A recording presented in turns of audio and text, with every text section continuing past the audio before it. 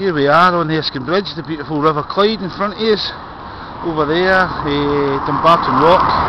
They call that a sleeping giant. It really needs to be quite a sunny day to see it, but it actually takes on the shape of a giant when you look at it.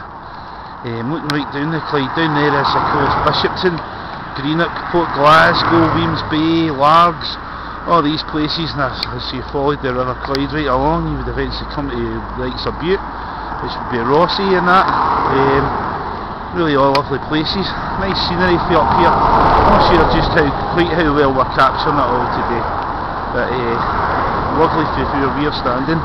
And of course there's Brandy peering over himself over the Erskine Bridge, enjoying the view. Quite high up here, not actually the height of the bridge yet, but you can see just panning down there. There's the ground, so we're quite at some distance. The ground's really lovely.